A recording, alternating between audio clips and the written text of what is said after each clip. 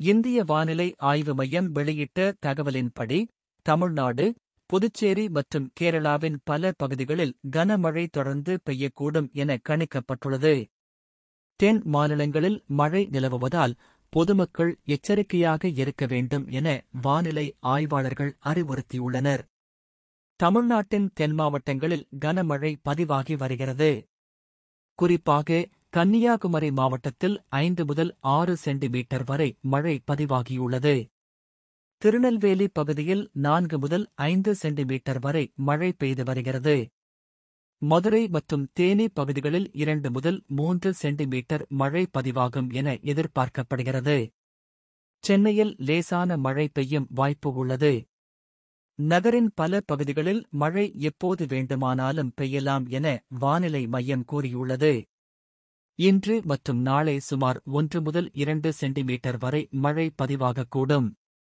இவ்வாறு மழை பெய்து வருவதால் நகரம் முழுவதும் ஈரப்பதம் அதிகரிக்க வாய்ப்பு உள்ளது.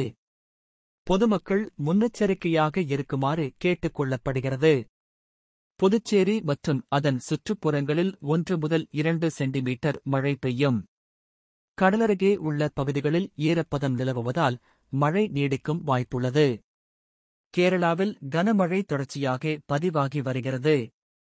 குறிப்பாக திருவனந்தபுரத்தில் ஆறு முதல் ஏழு சென்டிமீட்டர் மழை கொச்சியில் நான்கு முதல் ஐந்து சென்டிமீட்டர் மழை பெய்துள்ளது. கொல்லம் மற்றும் ஆலப்புழா பகுதிகளில் மூன்று முதல் நான்கு சென்டிமீட்டர் வரை மழை பதிவாகியுள்ளது. கேரளாவின் மலைப்பகுதிகளில் நீர்வீழ்ச்சி மற்றும் ஆறுகளின் நீர்மட்டம் உயர்ந்துள்ளதால் பொதுமக்கள் பாதுகாப்பாக இருக்குமாறு வானிலை மையம் கேட்டுக் கொண்டுள்ளது. பொதுமக்கள் தேவையற்ற பயணங்களை தவிர்த்து அத்தியாவசிய பயணங்களின் போது பாதுகாப்பு முன்னெச்சரிக்கை நடவடிக்கைகளை பின்பற்றுமாறு வானிலை ஆய்வு மையம் அறிவுறுத்தியுள்ளது.